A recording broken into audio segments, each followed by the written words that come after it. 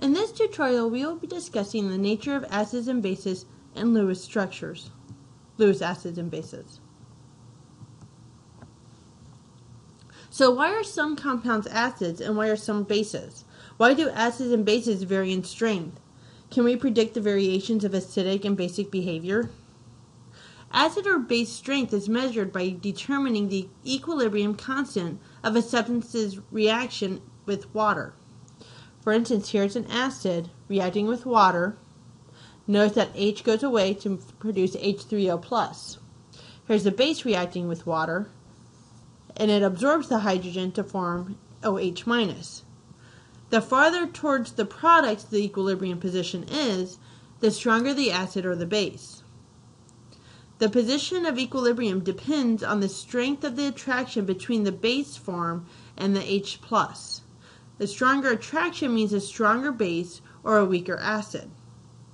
The stronger an acid is at donating a hydrogen, the weaker the conjugate base is at accepting it. Once that hydrogen goes away, it does not want to come back. So let's take a look at acetic acid and trichloroacetic acid. Look at the Kas.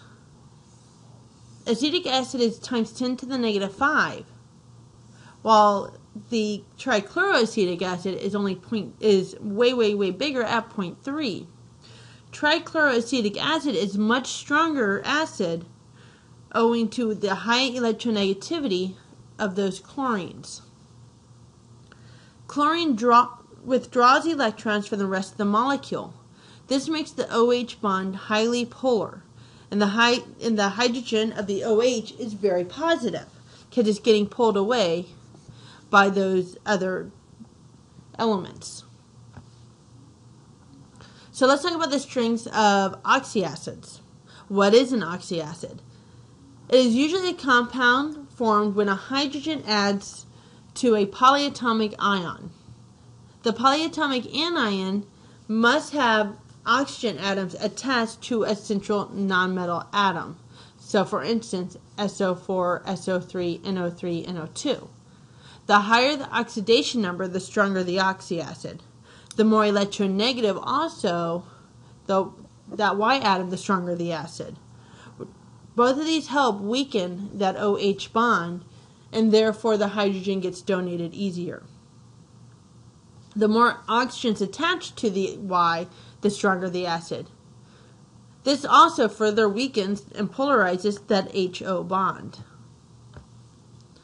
Nitrate, carbonate, and phosphate are, are ions are all bases. As the negative charge increases, the basicity of the substance, the anions that is, increases.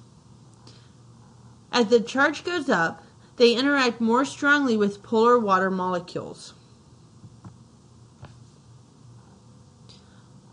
So let's look at binary acids. Bi means two. So we're talking about acids with only two elements, two atoms in it.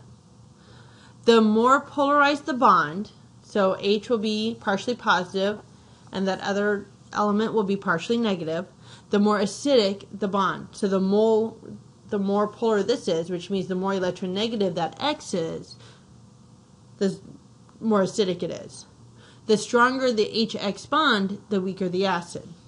So if this is a really strong bond, that hydrogen doesn't want to go anywhere. It doesn't want to break. So therefore, it's going to stay attached and become a weaker acid. Binary acid strength increases to the right across the period. So carbon, nitrogen, oxygen, fluorine are all increasing electronegativities. Binary acid strength increases down the column. So fluorine, chlorine, bromine, and iodine. All right, so we've talked about Arrhenius. We've talked about Bronsted-Lowry. Now we're going to talk about Lewis acid-base theory, which is even more general than the other two we've discussed. Lewis acid-base theory focuses on transferring an electron pair, not just a hydrogen atom. So the lone pair becomes a bond, or the bond becomes a lone pair. The electron donor is called a Lewis base. This is electron rich, therefore, it's called a nucleophile, meaning that it's wanting something positive. It loves things that are positive. Electron acceptor is called a Lewis acid, and it's electron deficient. It's more positive. Doesn't mean it is positive, it's just more partially positive, and therefore electrophile. It loves electrons. Lewis acid is a substance that accepts an electron pair, while Lewis base is a substance that donates an electron pair. New bond formed using electron pair from the Lewis base is referred to as a coordinate covalent bond.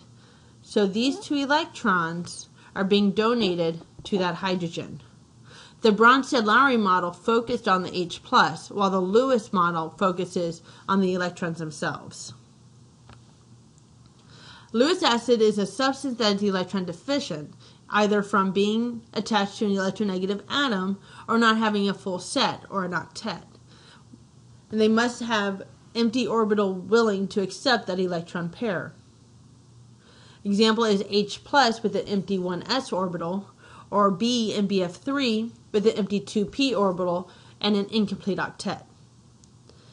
Many small, highly charged metal cations have empty orbitals they can use to accept electrons. Atoms that are attached to highly electronegative atoms and have multiple bonds can be Lewis acids. A Lewis base has electrons and it is willing to give away or to share with another atom. A Lewis base must have a lone pair of electrons on it that it can donate. Anions are better Lewis bases than neutral atoms or molecules. So the fact that it has a 3 minus here makes it a better Lewis base. Generally, also, the more electronegative an atom, the less willing it is to be a Lewis base. So oxygen is less willing than sulfur because he wants to hold on to his electrons. The formation of a hydronium ion is also an ex excellent example of a Lewis acid and base. The electrons from the hydrogen are getting donated from the oxygen are getting donated to that hydrogen, forming that extra bond there. The electron pair and the new OH bond originated on that Lewis base, which is the water. So what's happening here? The base donates a pair of electrons to the acid. Generally results in a covalent bond forming. So those two electrons here are getting donated to that boron to form that new bond. The product that forms is referred to as an adduct. Arrhenius and Bronsted-Lowry acid-base reactions are also Lewis-base reactions. And then one final example for you. This is the one that we showed earlier. Right here. A little bit more of a picture for you. The two electrons make it a Lewis base because it's donating its electrons being donated to the boron, which is a Lewis acid because it's accepting those electrons to form a new bond, and the whole thing is called an adduct. One more example, we have silver with a positive charge, two NH3 groups, so they have two pairs of electrons there, so one on one side, one on the other, to form Ag NH3 2. And that is your explanation of Lewis acids and bases.